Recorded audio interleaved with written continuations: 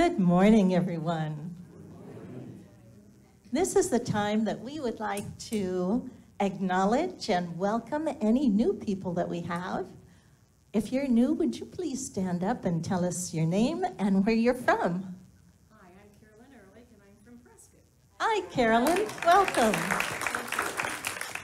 And you? I'm Marty Cope, and I'm visiting from California. Hi, Marty. Welcome. Anyone else? All the rest of us are family then. We do have a packet of information out in the lobby for anyone new who would like more information about Unity. We have a vision and a mission statement that we like to read in unison together.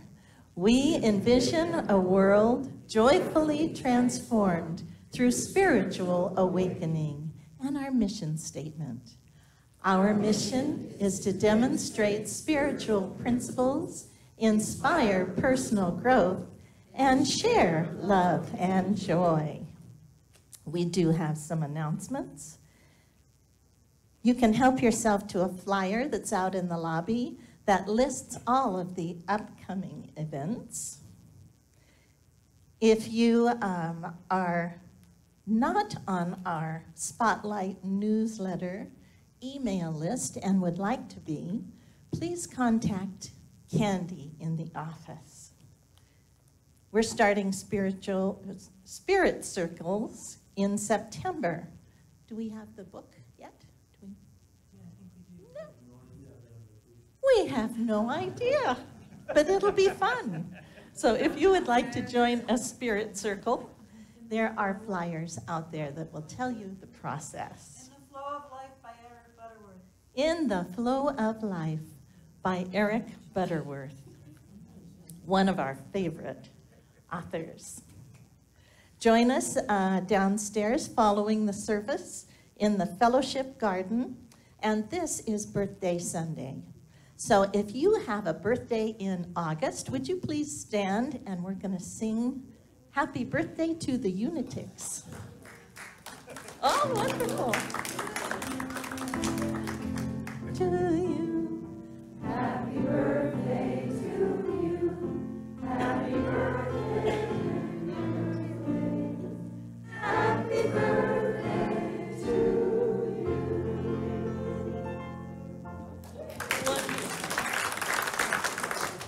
you. If you have an anniversary in August. Do we have any anniversaries in August? No. Okay. If you'd like to find out more about volunteering, we have some wonderful opportunities in our youth ministry, as a greeter, and in fellowship. There are flyers in the lobby, and the sign up sheets are on the board across from the mailboxes. We have a new member class beginning in September. If you're interested in becoming a, a member or you just want to have some new information about Unity, that's the place to get it. You can fill out one of the blue membership cards and return it to the office, and they will notify you of the dates. So let's welcome Richard back one more time.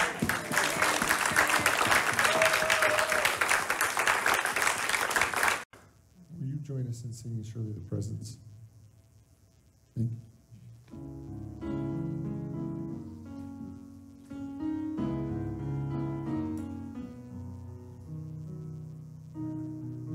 Surely the presence of the Lord is in this place. I can feel God's mighty power and God's grace. I can hear the brush of angels' wings. I see glory on each face. Surely the presence of the Lord is in this place. As we move into this time of meditation, I invite you to take a deep breath. and allow all the good that God is this day into your soul. That there is infinite good within you and all around you. Where there is infinite God.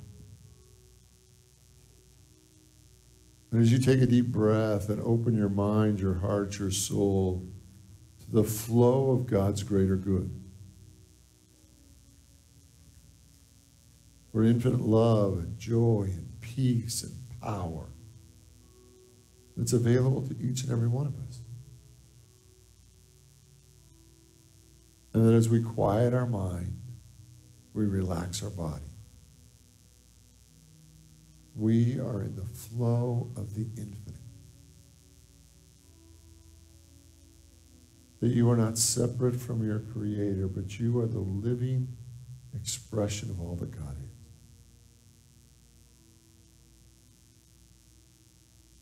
That whatever you desire today, whatever the blessing that you seek, God is the one and only source. So take another deep breath. And feel the overflowing joy that comes from being connected to the infinite. To be the, being the living expression of all that God is. That whatever you need, whatever you desire, God is the source. And God is good. God is good.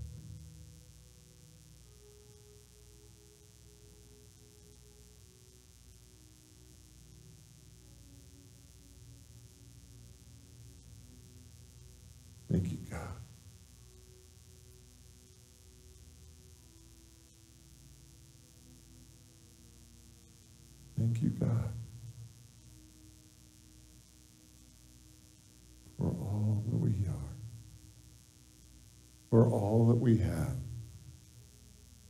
for all the blessings of this day. So, in the silence now, I invite you just to be open and receptive to the flow of God's good into every aspect of your soul.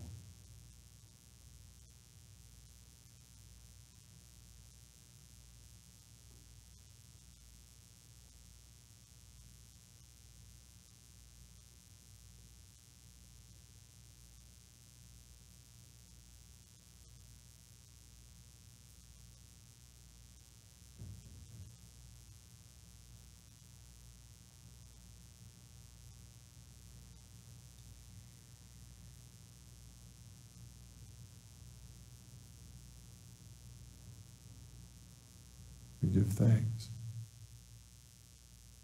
that we are being lifted higher and higher and higher into the greater goodness of God. That our souls have been set free from yesterday's limitations. That we know good and only good. And that in every moment of every day we are being divinely blessed. So we open to this next level of good. And we say, Thank you, God, for every good thing, for every blessing, for every moment. And we dedicate it all to God. And so it is.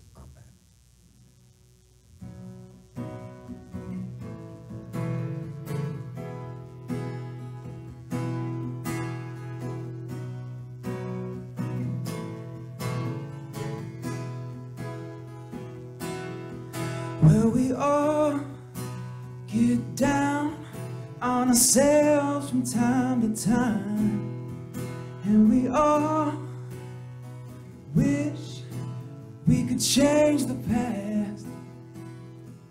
Well, I know time is on our side, and the passing days can heal the broken heart.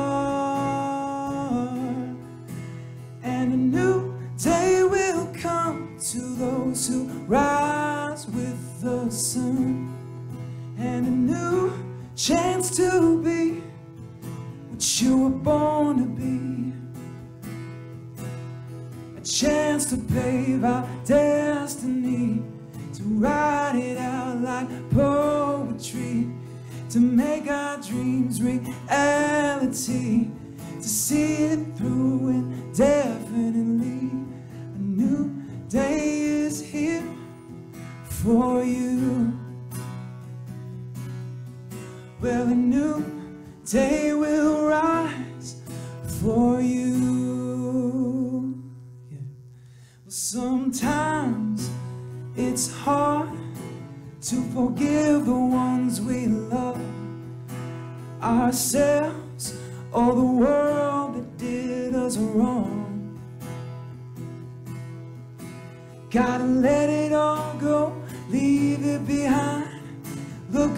to the sky. Daylight is just a step away. And a new day will come to those who rise with the sun. And a new chance to be what you were born to be a chance to pave our destiny, to write it out like poetry, to make our dreams reality, to see it through indefinitely. A new day is here for you. Well, a new day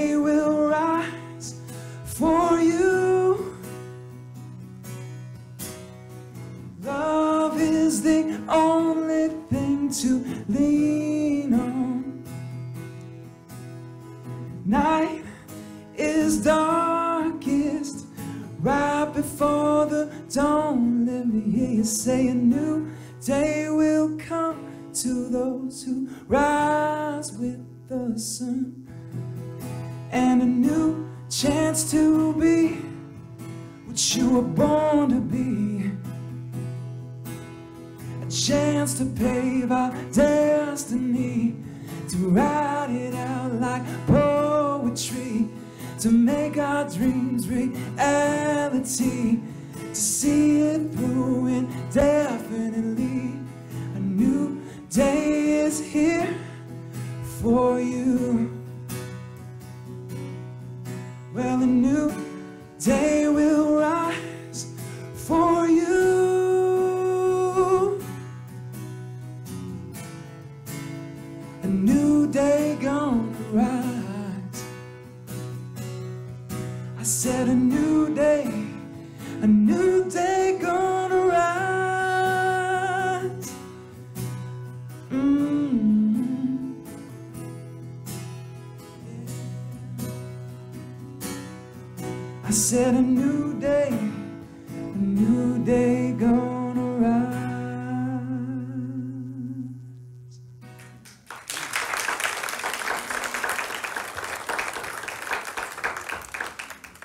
Dan, fabulous. Isn't it great? Dan, thank you, thank you. Wayne, as always, thank you for the prelude. I noticed Dust in the Wind. Was that Kansas Dust in the Wind? You did a fabulous job with it. That was great. Like, great, I know that song, right? All right, can I thank all of you? I love being your minister. Thank you, thank you, thank you. Sometimes time away, you get to kind of take a look at your life and where you are and what's going on. And I just want to thank each and every one of you for the honor of being your minister. I want to thank all the guest speakers that we had last month and all the, the work the staff and the board and the volunteers um, do to make this place work. Thank you, thank you, thank you. I, I feel very blessed. Um, I believe, and, I, and I'll own this, that, that travel is a spiritual experience. It kind of doesn't always feel like that, right? Because you think you're going on vacation and, you know, the, this travel stuff is just to get you away to wherever you're going. And you think, but the, it's so amazing how much Spirit works through travel, right? And so tonight, tonight, this morning, I, I know what time it is. I'm, I'm used to being in different time zones, but I'm really here. Um, I want to talk about what I learned on my summer vacation. Because I see over the last several thousand years that people have used travel as a spiritual process. People have been taking pilgrimages as a spiritual process. Christians, Jews, gone back to the Holy Land. You know, the Islam people of Islam go to Mecca. You know, we, we see this over and over and over again of people taking pilgrimage or, or traveling as a way to take their next spiritual step. Now, sometimes, I don't know if you've had this experience with traveling, the experience that you get is not the experience that you thought you were paying for. Has everybody had that experience? That you thought you were signing up for this, and the experience that you get was vastly different, but, but, it's, but it takes us to a different place, right? And I, and I see that over and over again that there are some spiritual benefits to travel. One is that it, that it moves us out of our routine, right? That when we move out of our routine, somehow it makes us more open and receptive to feel the activity of spirit because we're not doing life the way we're doing always do life. We're in a different environment, we're eating different foods, we're in a different spot. And so it really opens us up to look at ourselves, to, to have new experiences, to, to be more and more open to spirit, to really be more vulnerable through travel, right? Because we're sleeping in a new place and, it, and it's different, right? So there's an openness that when we get out of our, our routine. It also, by disconnecting us from what we're familiar with, number two is that it actually requires a deeper connection within. You know, when we're traveling, there are a million choices that we don't have to make in our daily life that are just routine, that are just regular, that we just do it this way. And travel really requires that we trust our own inner guidance from every decision that we make. And, and as we're making these, these trips, as we're traveling, you really have to begin to trust your own inner guidance to lead you on. Three, there is a loss of control in traveling. right? Flights are canceled, you know, there are highway delays, hotel problems. And, and as we lose control, our ego tends to react not always well. Does anybody else have some issue when you know that you've lost control with a situation where your reservation that you thought was done and that the hotel room was supposed to be there, and you get there and they say, I'm sorry, sir, we're, we're full? Or you, you're, you're now going to be sleeping in the basement, you know, with a rollaway cot, right? Or whatever the situation is. There's a loss of control that really requires us to really expand our faith. Four, we get experiences with new people, new foods, new cultures, and it has an impact of looking at our own behavior, looking at our own culture. We were on the way home. We we we, we drove um, from here from Phoenix to to Michigan and back, and, and I'm going to talk a little bit more about that. But on the way home, we we drove through Kansas, just a little tip of Oklahoma, and Texas as we were coming back into through New Mexico. And I, I stopped to get gas, and Jill went into the, the, the convenience store, the truck stop, and, and she got back in the car and she said, I know we're in Texas. And I said, What do you mean by that? She said, Every man opened the door for me and waited till I walked through. And she said, it, it, was, it was fabulous. She said, I almost just stopped and to see how long he'd wait there. This young man in his 20s just held the door for me. And she said, I feel, I love Texas, right? And, and, and it's that cultural difference, right? And sometimes we get to look at our own things or see our own behavior. And the fifth one that I think that one of the real spiritual benefits of travel is that we always have to go back to where we started. Anybody read the Harry Potter series or, or look at the Harry Potter movies? The first Harry Potter movie, I, I had Harry Potter goes off, if you know the story, he goes off to be a wizard. And he learns all these wizardly things, and he learns his power as a wizard, and he learns that his parents were these amazing wizards, and he learns magic, right? He learns his own magic. He learns, he learns about the power within him. And then at the end of that first year of a wizard school, he has to go back and live with the muggles. And I thought, and, and the muggles were the people who didn't know their magic, right? They didn't know they had magic, right? And, and I always thought that that was so unfair. Like if you just if you just learn your magic, then everyone around you should know their magic. And I don't know about your life, but not everybody in my life knows their magic, right? Not everybody in their in, in my world really is awake to all that they are, and, and that that we go and we have these wonderful experiences when we travel and maybe feel the presence of God, or we see something that's just beautiful and it's transformative. But then we come back to right where we are, and, and, the only thing that's changed is us. And that we have to really practice living our life from a higher point of view. And it's like, remember the, the last scene in Wizard of Oz, where, where Dorothy goes and has this big adventure and has all these strange and wonderful things happen. And then at the end of the movie, remember where she wakes up? In her own bedroom, in her own bed, with, with her family around us, but she's different. And, and that's really all that we can really ask for in those experiences of life. Sometimes we want everybody else to change. Like sometimes it would just seem easier if everybody else was different. But one of the things I want to see is that the true spiritual process isn't about changing the world. And we, we'd all like it if everybody else was different, because then we wouldn't have to do our own inner work. But the real spirituality of travel, the real spirituality in our life, is that as we have a new experience, as we have a new faith, as we have a new relationship with God, as we live a new possibility, the outer world sometimes changes. But the real significance is that we change. So, uh, Jill and I had dedicated this month to taking this trip. I, uh, you know, I don't talk about my wife a lot. Um, almost eight years ago, she had um, was diagnosed with breast cancer.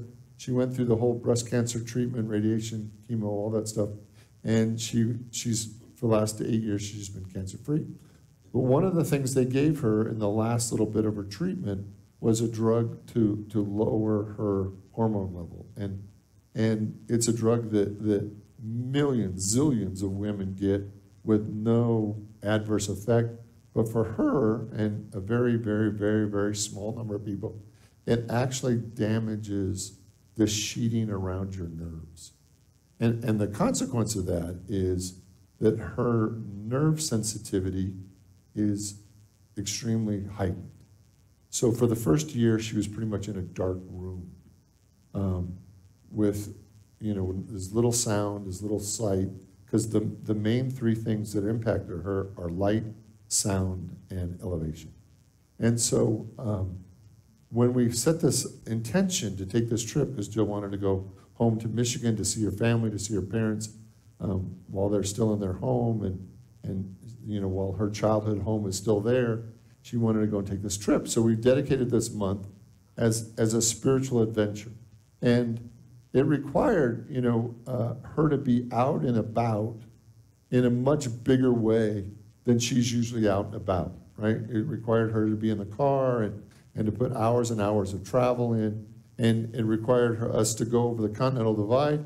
And if you don't know, the Continental Divide in New Mexico is at it's 7,200 feet, and she hasn't been up to 7,200 feet in eight years. Right? We get her above 2,000 feet, it, it starts to have an impact on her. So we, we decided we were going to take this trip, and the and the word that we got before we left was acceptance right? That that was the spiritual word and prayer that both of us got was acceptance.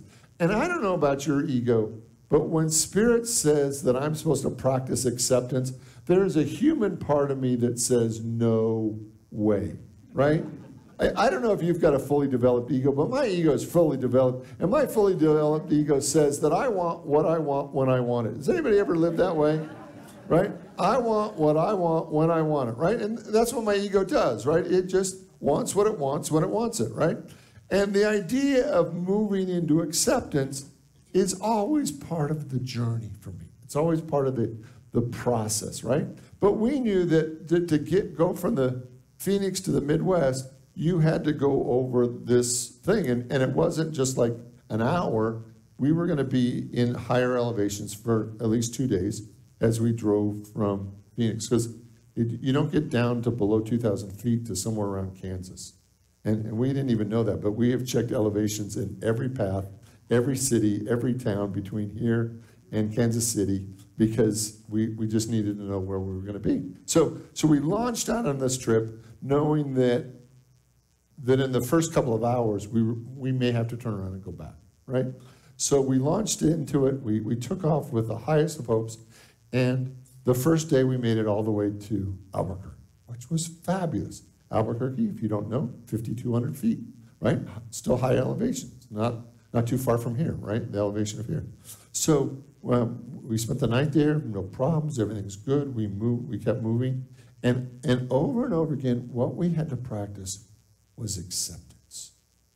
So the first day, there was a, a road closure on, on I 40. And the road closure then created three more hours to that day of driving, right? And, and it was, um, you know how your mind says it shouldn't be like this? Right? Does your mind ever play that trick on you that says it shouldn't be like this? I shouldn't be like this. This situation should be like this. This moment should be like this, or they shouldn't be like this, or this trip shouldn't be like this, or the they shouldn't close the road, or whatever it is. Right? Your mind plays that thing that it shouldn't be like this, and then you get this opportunity when it is like that to say, "How am I going to handle it?" And and our commitment was that we were going to, as quickly as we could, we were going to move into acceptance. So I I if you've never used the Waze program on your phone or the app Waze, um, we got out the, the app on the, on the phone, and Waze had a detour. And we were about two hours into the, the road closure before one of us had the bright idea to actually see if there was a, another route other than just waiting in non-moving traffic. And Waze redirected us, and, and, it, and it worked out beautifully. The next day, Waze took us on a route that we would have never taken through northern New Mexico to get to Kansas City, and it, and it was just fabulous. And over and over and over again, we'd have these experiences that we didn't want, that we didn't ask for, that we didn't pray for, and yet they would turn out to be better than we could imagine.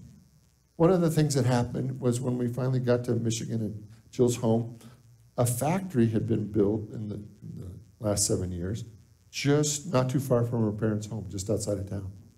And, and it creates a constant hum, vibration, noise. And when you're sound sensitive, um, a constant irritating hum is, is not helpful. So we, we tried it the first night and it didn't work so well. And, and then we decided we were going to have to go stay in a hotel. And that wasn't, you know, that wasn't the plan, right? The plan was to, to be with mom and dad for the whole time and, and, and to stay in a hotel. Well, we, we got a, they don't live too far from Michigan State. We got this great hotel right on the campus. Golf course, Olympic size swimming pool, unbelievably cheap, right, and, and only 20 minutes away. So we got to go to mom and dad's when we wanted to, and then we got to leave mom and dad's when we wanted to. And I said, Thank you, God. right? And then over and over again, like everything that looked like a problem, if you don't stay in that mental state, it's a problem. And you just stay in the place of accepting everything over and over and over again turned out to be a higher level of good. And, and it was so powerful to watch one obstacle, one situation after another be resolved in a way that was greater than I can imagine. Right? And, and there were some real strong takeaways for us. There were there was really there was there was really four things that we both came away with feeling like that we had really learned from this experience. And the first one is that as soon as you think the thought it shouldn't be this way, at that moment you are in resistance. And it doesn't feel like resistance because it feels like your mind is just saying, calling it what it is. Like it shouldn't be this way, or this person shouldn't be this way, or this traffic shouldn't be this way, or this weather shouldn't be this way, or whatever it is. But the moment you think the thought, it shouldn't be this way, you're actually denying reality. You're actually at odds with what is. And the moment you think the thought, I shouldn't be this way, or this person shouldn't be this way, it actually takes you out of acceptance and it takes you out of being blessed. And, and, the, and the other thought may be instead of it shouldn't be this way, is this isn't the way I thought it was going to be. Because there's a difference when you say it shouldn't be this way, is that you're making a judgment on that situation. And, and you're labeling that situation as wrong or bad or less than. But when you just say to yourself, I didn't think it was going to be this way, but I'm actually open to a greater blessing, it then moves you from your resistance to a place of acceptance. And once we move into acceptance, we get to really experience all the good that God is. So the first one is the, the moment our minds went into, or one of us would say, you know, it really shouldn't be this way, you know, or, or this isn't really right, or this isn't what we thought we were going to have, or this isn't what we planned. It's like, isn't that great? Right? Because at that moment we move. And that takes us to the second thing we found that the more we moved into acceptance, the more gratitude we had for every experience that acceptance creates gratitude over and over and over again. And, and you can't be in resistant, resistance and gratitude at the same moment. You can't be complaining about what is and be grateful for it in the same spot. You just can't, you can't do it. So the more that we move into acceptance, the more the gratitude became overflowing. We became grateful for, I wonder how this is going to work out, or I wonder how God's going to make this work or bless us, or how the, the next moment or the next situation was going to unfold. That every time we could move into acceptance, our gratitude went up. The third one. The third one is that, that um, without acceptance, it's very hard to love. Does that make sense to you? Like, w- when you're not accepting someone or some situation, or even yourself, it's very hard to, to open your heart. Because as soon as you, your mind makes that judgment, right, your heart closes. I want you to think about somebody that you love to judge. Do you have a favorite person you love to judge? It could be a politician or a family member or a neighbor. It could be somebody you see on TV. Do you have a favorite person that you just love to judge the heck out of them? Right? Does everybody have one? Most of us do, right? We have somebody that we just love to judge because we just know how wrong they are, right? There's just very few things are right. And I want you to just feel yourself judging them. And I want you to see if you can really judge them at the level that you love to judge them and keep your heart open. You can't do it. You can't be in judgment and in love. You can't be in resistance and in love in the same moment. You just can't do it. Because the moment your mind says there's something wrong with them, the moment you're in resistance to them, the moment you're in judgment, your heart automatically closes to protect you. And the only way that we can keep our heart open is to be in acceptance. So, you ready for your homework? Right? I, I want you to play this game with me if you want to play, right? This is your little mini vacation with me this week, right? I, I want you to look at the areas in your life that you think are not right the people that you think are not right, the aspects of your body that aren't right, your finances, your job, your family, whatever it is that you are in resistance to, I want you just to become more aware of it.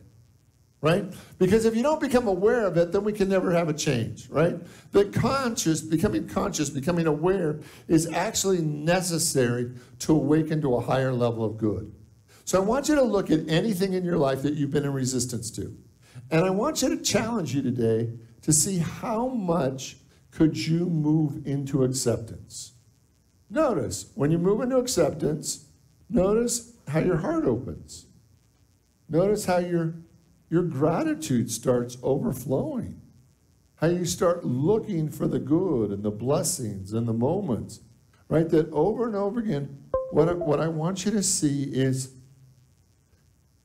is that sometimes we have this vision for how our life is supposed to look, how a trip's supposed to go, how our family's supposed to act, how the world's supposed to behave.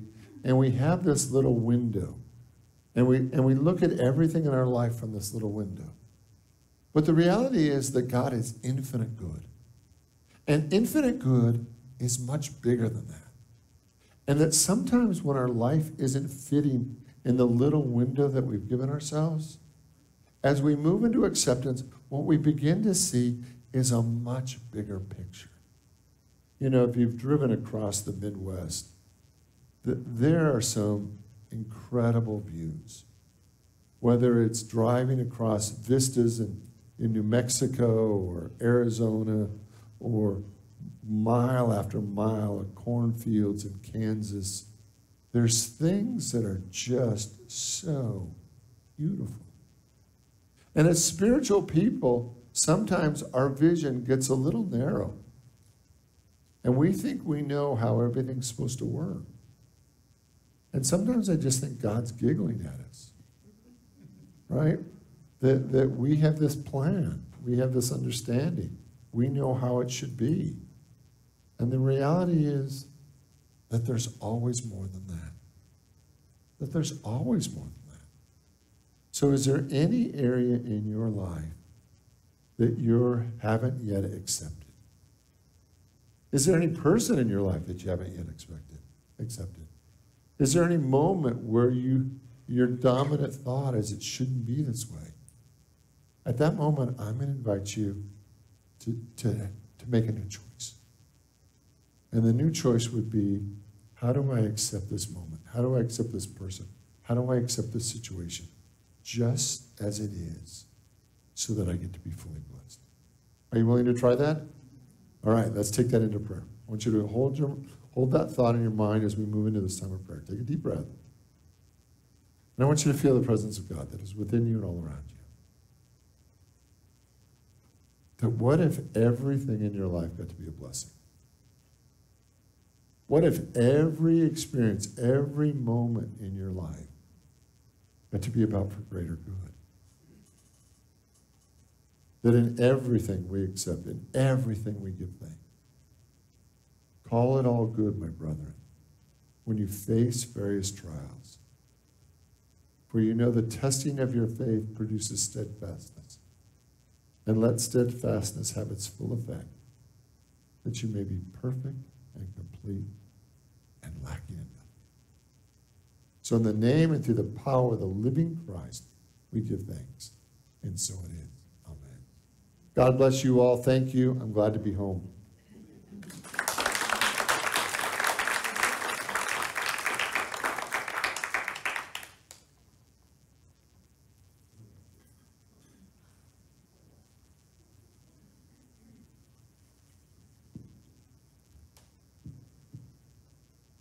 Thank you, Richard, for helping me up the stairs. this is our sacred time of giving.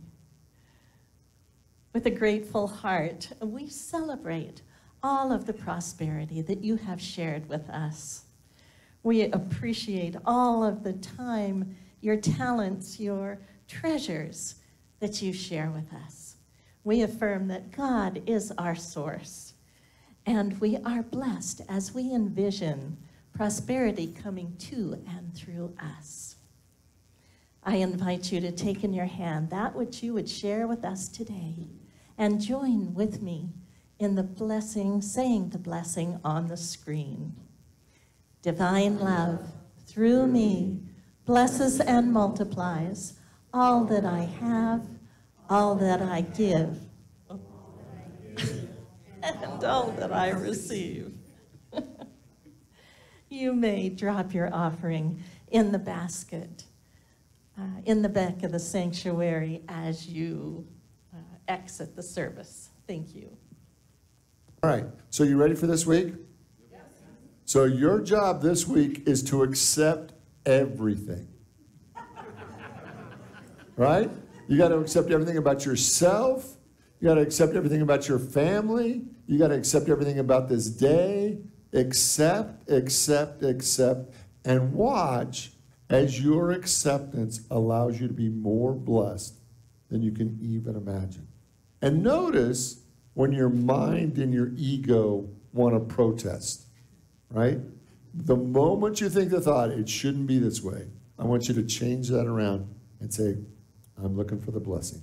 Are you willing? Light of God surrounds us, the love of God enfolds us, the power of God protects us, and the presence of God watches over us. Wherever we are, God is, and all is well. God bless you all. Have a great week. Thank you for being here.